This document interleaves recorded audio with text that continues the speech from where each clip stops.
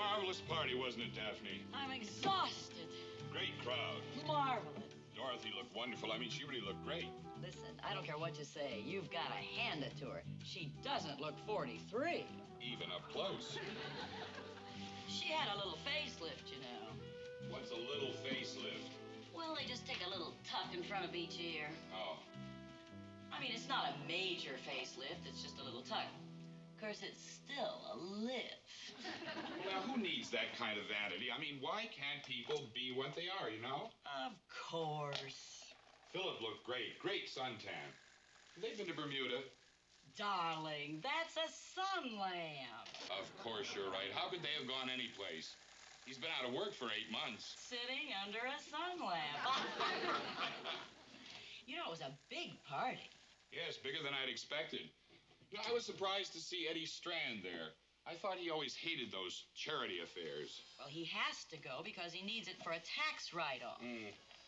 I thought I'd die when I saw the Smiths tooling up in that Rolls. Their station wagon was repossessed two months ago. A Rolls and a chauffeur. Oh, he's not really a chauffeur.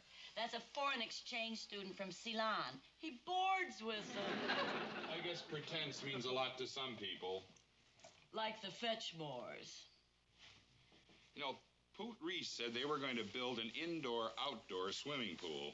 Oh, Lord knows where they'll get the money. They already owe all the tradespeople. Well, now they'll owe the pool people. Darling? You know, if I hear Pang and Z.G. Turner talk about someplace they've been for a weekend again, I'm going to throw up. I guess he forgets that we know he used to work for the airlines before his second marriage, and he's got a pass. I mean, who wouldn't want to go to Africa for the weekend if you get there for $15? Who do they think they're impressing? I hate that sort of thing. It's so inauthentic. It's incredible the way some people behave, you know? Did you get a chance to talk to Freddie and May Hudson? No, they were so busy snowing his new boss.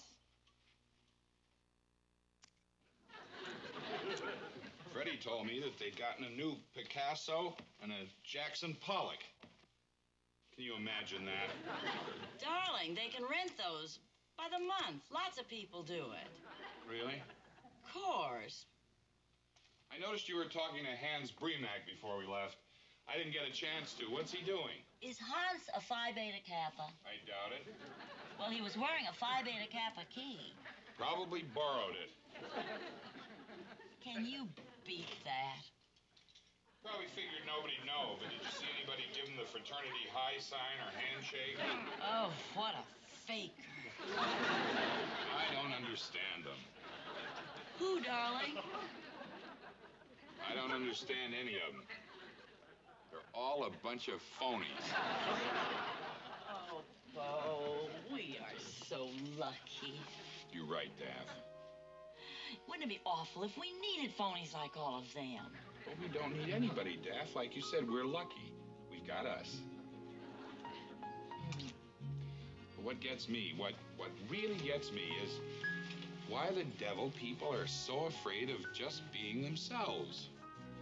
Know what I mean?